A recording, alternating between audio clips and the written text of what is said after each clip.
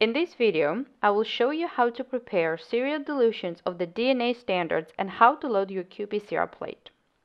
Before you start, remove the DNA samples and DNA standards from the freezer and place them on ice or in the fridge to thaw. After the samples have thawed, flick the tubes and put them in a nanofuge to spin them down. Once you're done, put them in a tube rack at room temperature on the side.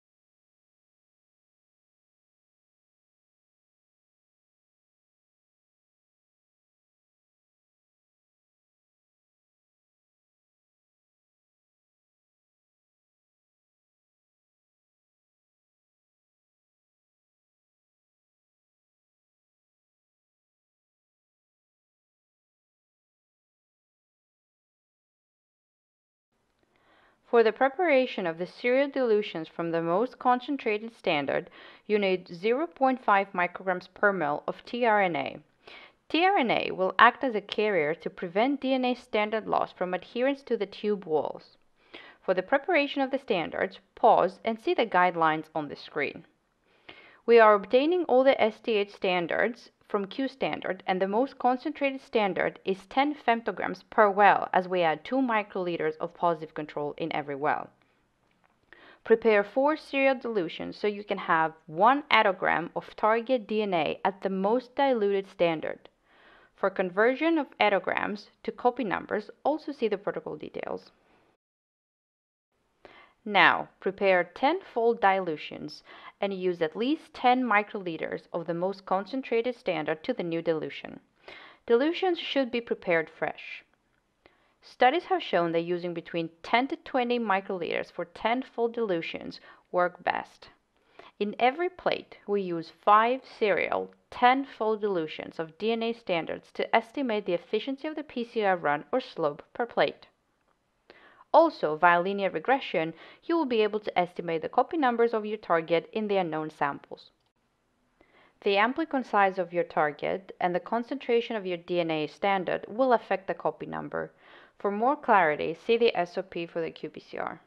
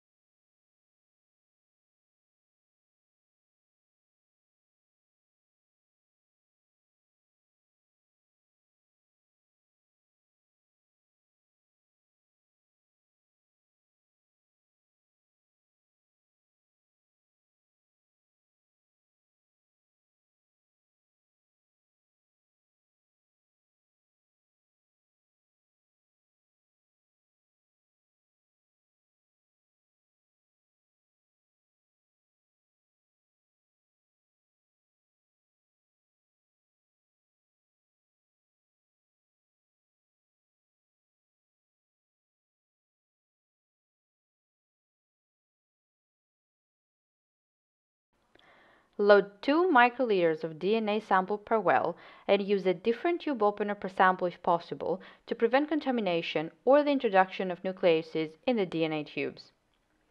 A 96 well plate will fit 39 DNA samples in duplicate, 5 serial dilutions of standard in triplicate, and the non-template control also in triplicate.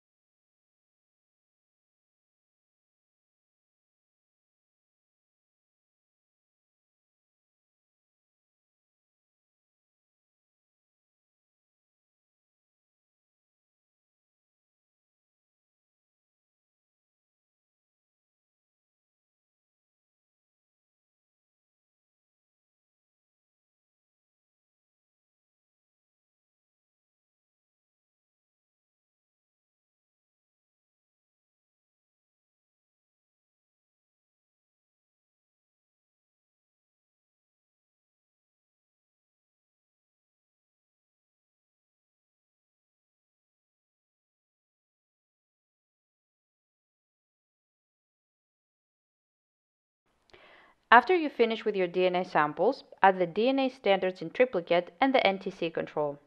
I'm adding a 96 well plate template reference for convenience.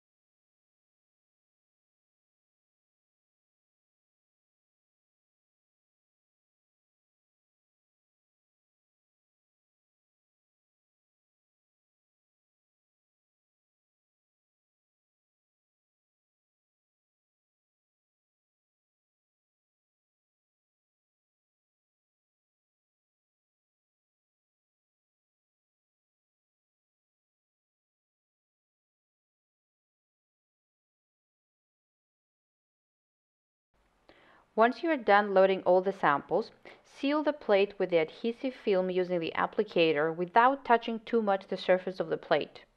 Do not worry if there are any bubbles or drops around the edges of the wells, spinning down the plate will take care of that.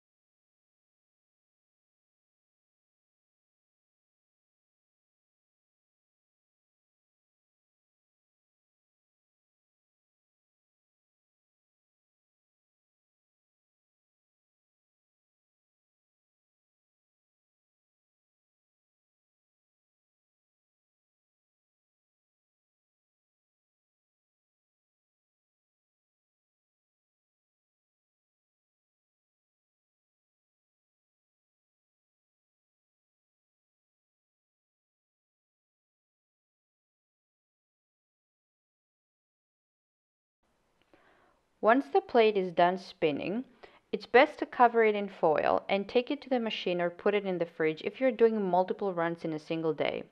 But ensure the plate is not exposed to any light.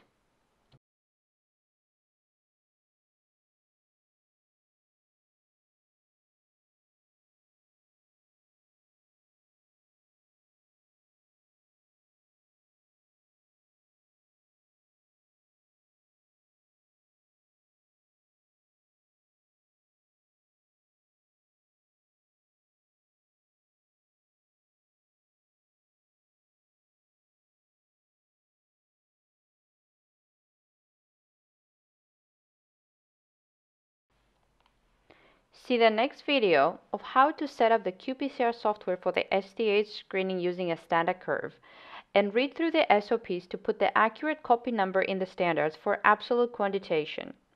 Here I'm using the StepOnePlus software and instrument. The setup for the QuantStudio 5 or more advanced might be similar for a standard curve analysis, so please visit your manual for details and further guidance with the setup. Happy amplifications!